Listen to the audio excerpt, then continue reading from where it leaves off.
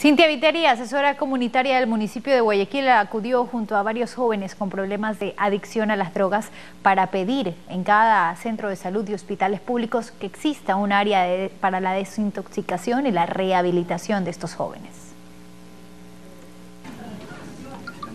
Esta propuesta nace luego de varias quejas de ciudadanos respecto a la supuesta mala atención en los hospitales públicos, según lo manifestado por varios jóvenes, quienes buscan ayuda por sus problemas de adicción a las drogas. Tras esto, la postura de Cintia Viteri, asesora comunitaria del municipio de Guayaquil, es que se implementen varios cambios. Es que los hospitales del país, todos los hospitales del país, abran sus puertas hagan un espacio tal como lo han hecho para, por ejemplo, cardiología, un espacio dedicado a personas con adicciones y se dediquen sin construir nuevos centros a rehabilitar a nuestros jóvenes, como lo dice el artículo 364 de la Constitución. Es deber del Estado.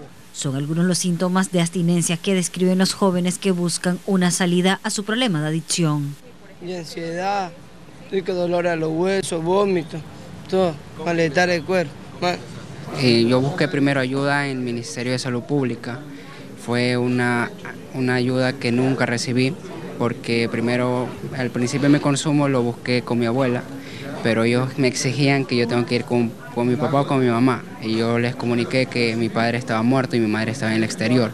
Ellos no me quisieron brindar la ayuda. El defensor del pueblo analiza acciones. El desarrollo de una investigación defensor de oficio que busca, eh, que buscará fortalecer la estructura del Estado ecuatoriano con eh, la eh, presencia activa de la sociedad civil, de instituciones que tienen programas relacionados con el tratamiento de las adicciones.